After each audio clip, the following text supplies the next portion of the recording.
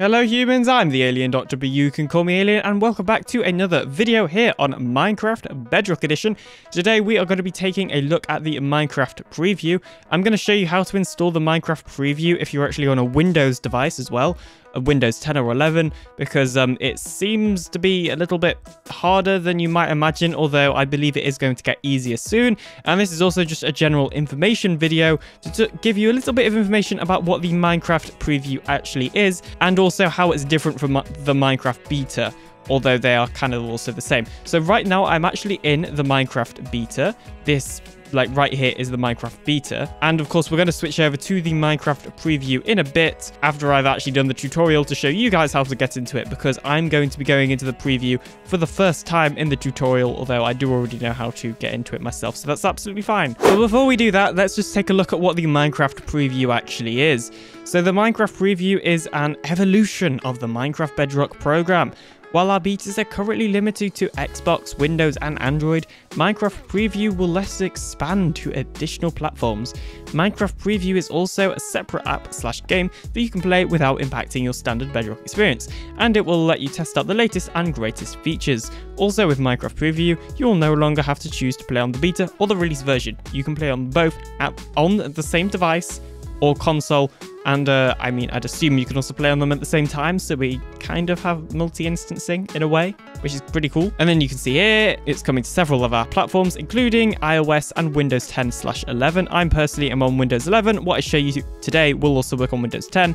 And uh, I don't have an iOS device to show you this on because it seems like the spots for that are still quite limited. Now you can see here, they are also bringing it to other platforms, so I'd assume it's going to be coming to Xbox as well, seeing as the old beta was already on Xbox, and of course Microsoft own Xbox and Microsoft own Minecraft. It just makes sense, right? Now, over here about the current Minecraft beta program, for now it's still going to be available. However, I'd assume once the preview stuff is kind of finished and on all of the devices and that sort of thing, I would imagine the beta program will be retired, which is a good thing. If you don't know, the Minecraft Bedrock beta program was just an absolute pain to get into, so it's a lot nicer to see this new preview system. Like, honestly, it's actually really cool.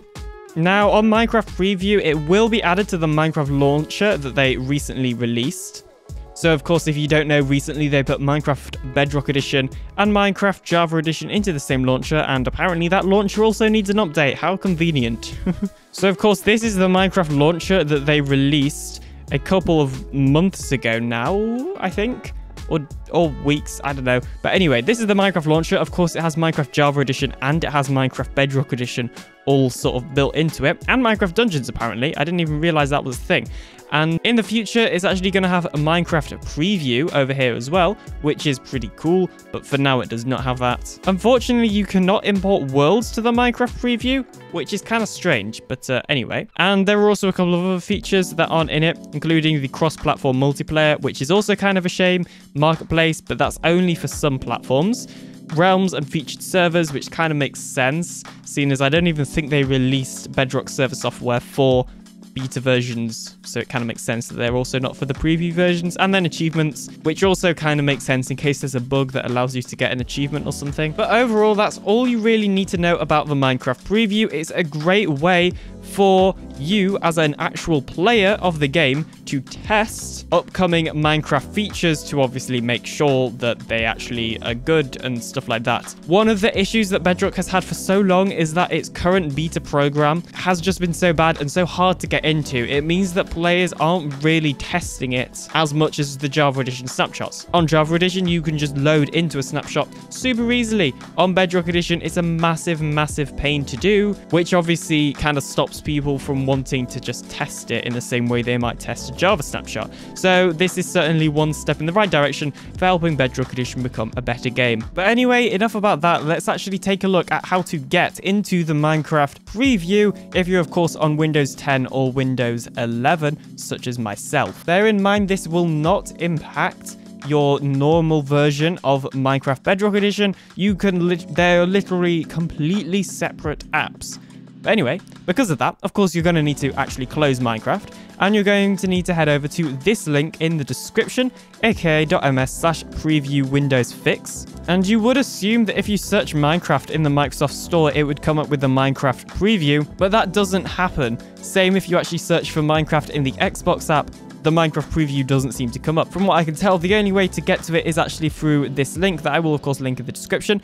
So if you just hit enter, that will actually forward you onto the Microsoft Store, even though you can't search for it, it still comes. I don't know, it's weird. But anyway, after you've done that, you can then press install, like so. And it's going to download, and depending on the speed of your Wi-Fi, this may take hours, years, months, or just a few days, or even just a couple of seconds. Or most likely, it's just going to take a couple of minutes. But anyway, let's just wait for this to download. So as you can see right here, it has eventually downloaded, as you can see right here. So you can just press play from here, or you can like open it really any other way that you want. I've got loads of things open. Okay, so to open it, you can just, of course, type in Minecraft and it will come up with Minecraft Preview over here and it'll open. And it looks very, very similar to normal Minecraft Bedrock Edition, especially on the first startup. Now, if you press this button, you will, of course, sign in to your Xbox account or your Microsoft account, hopefully. There we go. And um, I should probably import my skin pack real quickly. Okay, so it would appear that this can actually import skin packs and behavior packs and things like that, which is actually pretty cool. So I'm going to have a look around, have a play around with it, and I'm going to give you some more information that may not have been listed in the FAQ. Just let me, just, this is literally my first time opening it, so just give me a couple of minutes to like actually figure out what's going on. okay, so I've been looking around this Minecraft preview app for quite some time, and obviously the first major thing that you can notice is that it has a completely different panorama screen. So uh, I'll of course add this to my Pano selector as soon as I can. Now in terms of the settings and all of that sort of thing, it is basically the same. I can't really see any major differences here. Same with the dressing room, although it does have this beta UI that I actually can't even remember if ha has been added in the latest version. I think it has been now. Interestingly, this button is here. Now this is the import world button. However, if I remember correctly, it actually said that you wouldn't be able to import worlds into this version. So not quite sure what is going on over there. As well as that, you have this, the servers option. Like, what? You can add custom servers. So once again, not quite sure what's going on over there because it did say that servers wouldn't be available for this version and it said importing worlds wouldn't be available for this version, yet they both are. So now I'm kind of intrigued, can we import my beta test world? So as you can see there, I've just imported it and let's just load the world anyway. And uh, yeah, I've just loaded into the world completely fine. So this is my beta test world and uh, well, we're here. I guess I'm going to have to rename it to preview test world now, but it works fine. Like it said on the FAQ that I shouldn't be able to import stuff, but I can. So like, devs, you've uh, you kind of forgot to remove some features. I don't really know what's going on here. It's pretty cool that we can. Maybe that was only for the iOS devices, and maybe for Windows 10 or 11, you actually can import stuff. I'm going to assume that's what's happened here. But um, yeah, it's pretty cool to see that you can import worlds. But yeah, other than that, it is literally just a preview of Minecraft, exactly like how the betas were, just a beta version of Minecraft. It adds in some of the latest features, and that is well, it, honestly.